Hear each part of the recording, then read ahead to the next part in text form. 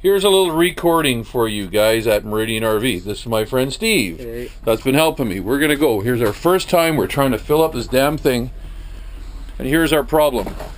I don't see. What do you see, Steve? Is that still leaking? It is leaking. It's pouring out of here. Fuck, it's a leak and it doesn't it doesn't fit on the back properly. And it's leaking out of here. I just thought and as you see, the water's just here. We just started for our first fill up and I asked my wife to check and see if we still have problems and it's still problems. I just wanted to record this quick since I'm getting this thing straightened out.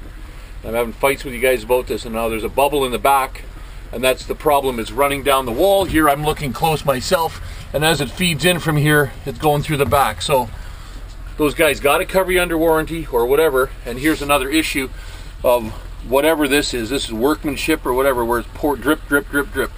Hopefully you guys can see this all put a flashlight on it so you guys got better light that's a drip and a big one and i've tightened them up that's all the water that we put in there the cloth is soaked. It's soaked in the very back back there ready.